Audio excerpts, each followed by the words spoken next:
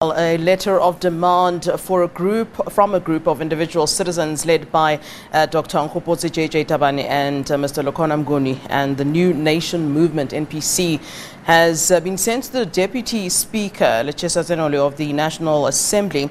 Uh, this to prevent the holding of the ballot scheduled to take place tomorrow, which due to the allocation of members will most likely result in the election of Ms. Mapisa Nqakula as the Speaker of the National Assembly. Well, on this, we are now joined on the line by political analyst Lukhona Mnguni. A very good afternoon to you, sir. Thanks so very much for joining us here on uh, SABC News.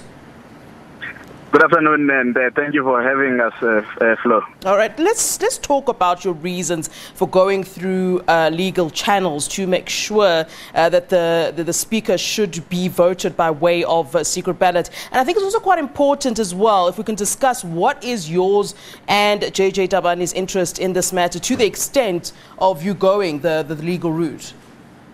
Absolutely, Flo. And I think what's important is to address our interest. One, we're citizens of this country before anything else. And we have seen numerous times our democratic institutions committing errors that have either been attempted to be rectified by the courts of law, if you look at the various uh, judgments that have come out, uh, lambasting how Parliament dropped the ball from time to time.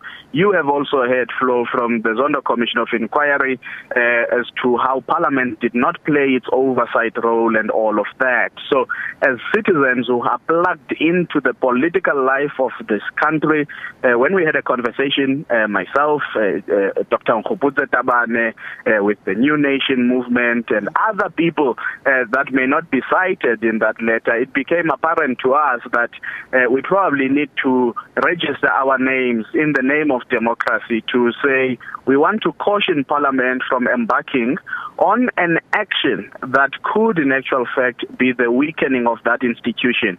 And Flo, if you read that letter, our first point of caution is that the president, when he was reshuffling his cabinet, he made it expressly clear that Ms. Nosiviwe Mapisa would be deployed elsewhere. It means that the head of the executive already had a destination in mind for a failed minister that he was firing from his executive and it was clearly deploying him to the body that must hold his executive accountable, and that is the National Assembly, uh, to the position of Speaker of the National Assembly. And we are saying that that on its own, he conflated his role as president of the country and the ANC, and it's tantamount to meddling with the business of the legislature, which should hold his government accountable. All right, a number of issues then to address here, Mr. Mnguni. So uh, the Constitution talks about, you know, what's in play, what's in place place if there's only uh, one candidate, um, that the person presiding must declare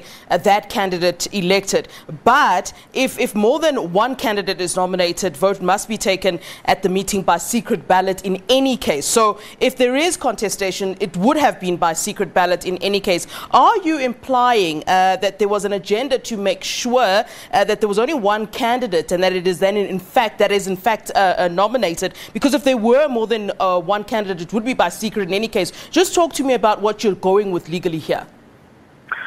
Well, the, the, the, the, position is quite clear in the sense that um, had there been uh, another person nominated, and we don't know if there will be another person nominated, so that will be the work of opposition parties, by yeah. the way, yeah. uh, to embark on Flo. And that is why the issue of the secret ballot uh, really comes in as the last bit, uh, a last point of resort in our demands. And that would really be to say uh, Parliament should test the confidence of the the incoming speaker uh, from across the board of all its uh, uh, members in parliament. But as you are saying, yes, the schedule in terms of elections is pretty clear as to what should happen. But the parliament should be able to say, well, we have somebody who has been confirmed by way of a ballot uh, that indeed uh, they enjoy the confidence of the House. Because our suspicion is that, given how this nomination was an imposition even on the ANC itself, uh, where its own processes were not followed, by the way. Mm. And that's why the acting spokesperson, the ANC caucus, in one platform said uh, this was just the desire of the top office bearers, which was being imposed on the ANC caucus in parliament. And of course, that, uh, if you go to some judgments that have been there, such as the one of the secret ballot uh, on the motion of no confidence on the then President Zuma on the UDM matter versus the Speaker of Parliament, the Constitutional Court made it clear, Flo, that because just because political parties deploy members to Parliament, once they've taken the oath of office, they must be allowed space mm. to perform their duties. But here we are seeing again meddling and interference with the duties of parliamentarians. Yeah, you know, the, the issue of imposition is, is, is, neither here nor there for me. I don't know who's, who's saying that uh, this person was, was imposed. But here's another thing, you know, some might say that, you know, the ANC, in any case, has, has a majority. So a secret ballot would have been uh, irrelevant uh, due to the fact that members do tend to vote as they would have been instructed. And of course, you'd remember, uh, Mr. Mnguni, when we saw this happening uh, with the public uh, protector, for example, where some might have been against voting, but uh, others, uh, well, they ended up doing so because that's how uh, indeed they were instructed. And there is this view that the ANC wouldn't, in any case vote as they are being instructed to. So my, one might say, even if it's secret, so what? It's going to turn out the way that they wanted it to turn out anyway.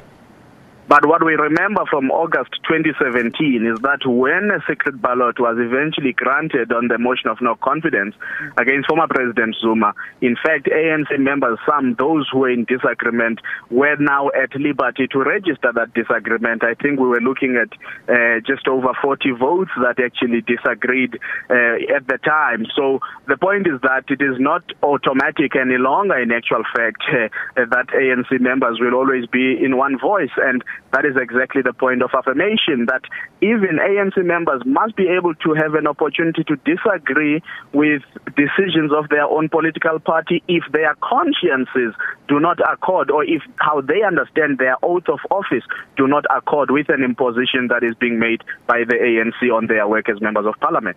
You, you also make the assertion there, quite importantly in your legal documents, uh, that uh, Mapisa Nqakula may not in fact be fit and proper for the role of Speaker. Why do you say this? Oh, absolutely. I think oh, there, there is a litany of issues that we can look to. Uh, if you look at how she has abused her powers at times as Minister of Defense, uh, giving people, uh, you know, uh, lifts. Uh, one case uh, that involved a family person. one case involved ANC de- delegation to Zimbabwe, which was reprimanded by the president, and the ANC demanded to pay back that money to the state. But Flo, there's also something more important that we allude to in the letter is that the Joint Standing Committee on Defense uh, intends on instituting an inquiry into her tenure during uh, her tenure as Minister of Defense, where there's allegations of corruption and mismanagement in how she performed her duties. Uh, there's an amount of about 5 million rands that the Joint Standing Committee on Defense uh, intends on actually interrogating. You will know that uh, there were even serious questions asked about the procurement of certain medicines uh, from Cuba that were flown into the country. And uh, I'm also well informed that the Rules Committee is not happy at how she conducted herself and how uh, she would respond late to the written questions by parliamentarians to her department. So this is somebody uh, whose name has lots of clouds on, and she still has something to answer for to committees of the House that she's now being asked to be its leader.